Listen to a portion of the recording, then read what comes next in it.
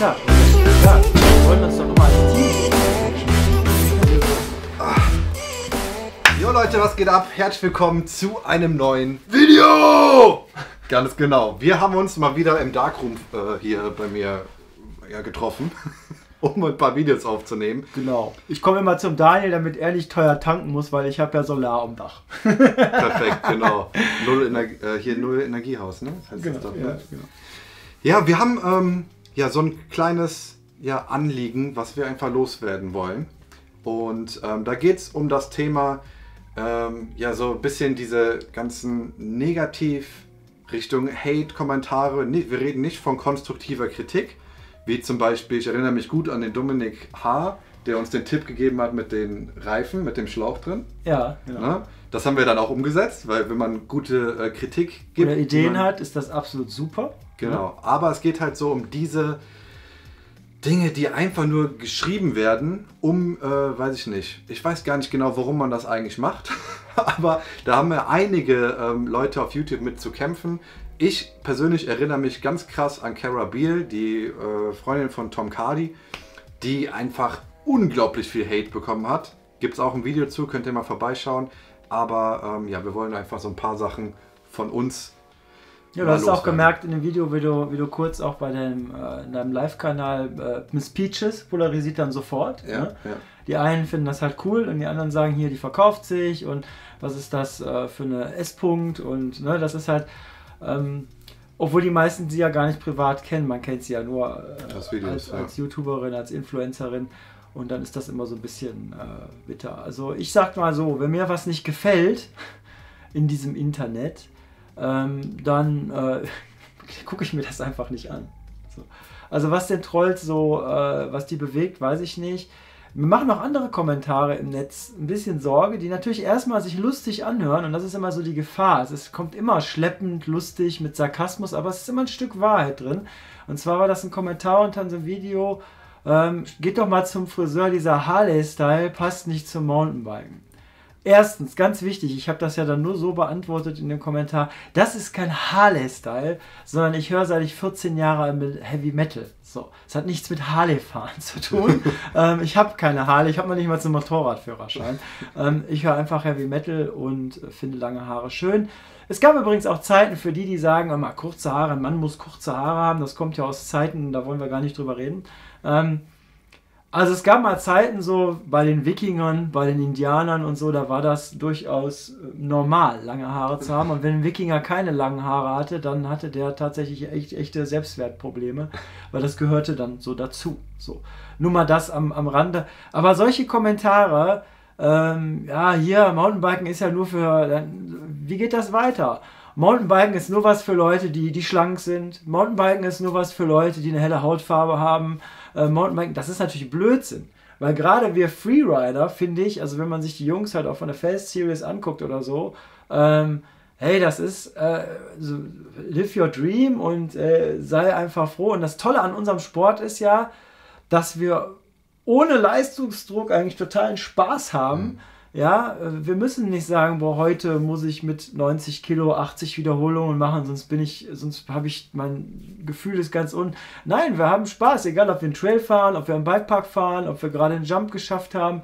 So, und ich finde, beim Biken, das ist mir auch ganz wichtig bei meiner Jugendgruppe, die ich lei- leite, spielt für mich, während wir biken, Religion, äh, Politik, äh, ethnische Herkunft, äh, Frisur, Kleidung, Aussehen, Körpermaße sind mir absolut total egal. Mir ist einfach wichtig, dass wir zusammen Spaß haben und biken gehen.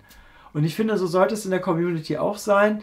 Und liebe Trolls, wenn ihr selber kein einziges Video hochgeladen habt oder nur von, wie ihr gerade Command Conquer oder Battlefield spielt, ein Video, ähm, ey, dann lasst doch einfach eure Hater-Kommentare, spielt weiter Battlefield. Ey, das bringt einfach nur negative Stimmung. Und ich finde, wir haben in dieser Welt viel zu viel negative Stimmung, vor allem in den letzten zwei Jahren. Man ist halt so schön anonym in diesem Internet. Und ich glaube, dass viele diese Kommentare im, im, im Real Life den Leuten gar nicht so ins Gesicht sagen würden. Bin ich fest von überzeugt. Also lasst es doch einfach auch bei YouTube Ich denke mal, der Daniel löscht eigentlich keine Kommentare, man kann da klug drauf antworten, man lässt sich natürlich nicht mit einem Troll, Trolls antworten, meistens auch übrigens nicht, daran erkennt man den Troll auch. Er tut einmal seinen negativen Kommentar reinwerfen und dann rechtfertigen tun die sich eigentlich nie, deswegen ist es eigentlich ja, vergebene Liebesmühe einem Troll zu antworten.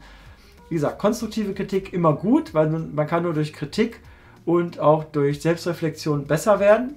Und ähm, aber ich denke, dieses Haten brauchen wir alle nicht und würden wir auch im Real Life halt auch nicht machen. Bin ich fest von überzeugt. Überhaupt nicht. Ja, also Nein, wenn man jetzt mal überlegt, stellt euch mal vor, ihr seid irgendwie draußen auf der Straße und ihr würdet zu jedem irgendeinen Kommentar abgeben. Das macht, das macht ja kein Mensch. ja, macht kein Mensch. Gibt's einfach nicht. Ja, wir, leider, wir reden ja, sagen heute noch nicht mal mehr die Tageszeit, weil wir genau. nicht so machen. Genau. Aber im Internet, so, wenn man sich nicht mal in, äh, in die Augen schauen kann, ist das alles egal. Und ich finde zum Beispiel auch ähm, dieses Thema, das war beim Tom zum Beispiel natürlich, als er sich sein Downhill-Bike geholt hat, so, lerne erstmal anständig fahren, bevor du dir ein Downhill-Bike holst oder ähm, was, was, also diese Kommentare gibt es ja auch ständig und ich finde, es ist auch völlig Oder egal, was man für ein Video mit dir, äh, du, das ist doch, du bist doch kein fortgeschrittener Fahrer. Ja, ne? ja, genau. Also alles Sachen, wo jeder halt äh, eine eigene subjektive Wahrnehmung hat und eine eigene Wahrheit hat, die kann man nicht auf einen Kamm brechen. Ähm, was sind Einsteiger, was sind Anfänger? Ähm, da, wo, wo macht man da den Cut? Aber jemanden beleidigen, weil man selber denkt, man wäre eigentlich besser und ist aber leider nicht in diesem Video, dann äh, ist das leider genau das, was ein Problem vieler Deutscher ist, nämlich Missgunst und Neid. So. Ja, und ganz wichtig ist, und darum geht es ja auch gar nicht. Ne? Überhaupt also, null, gar weder nicht. Weder mir genau. noch dem Tom geht es darum, in seinen Videos zu zeigen, wie krass er Mountainbike fährt. Das macht er, macht so, machst du nicht, das macht er nicht. Äh, Im Gegenteil, er betont oft immer, dass er noch nicht äh, gut ist. Also das sagt er ja selber auch. Ne? Und trotzdem ist er natürlich bei dem, was er da so fährt, äh, beileibe kein, kein Einsteiger mehr, genau wie Daniel halt auch kein, kein blutiger Anfänger mehr ist. Glaub mir, ich arbeite viel mit blutigen Anfängern. Das sind keine Anfänger mehr in unserem Gravity-Sport. Und wo setzt man dann, wo würde man die Latte setzen? Und das Schöne ist, bei Leuten, die richtig gut fahren, äh, wir kennen jetzt zum Beispiel hier äh, ja, Dennis ne, von Radadoll oder den Tarn, die würden sowas nie machen. Ja, die würden nicht sagen, boah, ey, was fährst du ein Downhillbike, du, du nutzt das doch nur zu 30% aus. Ne?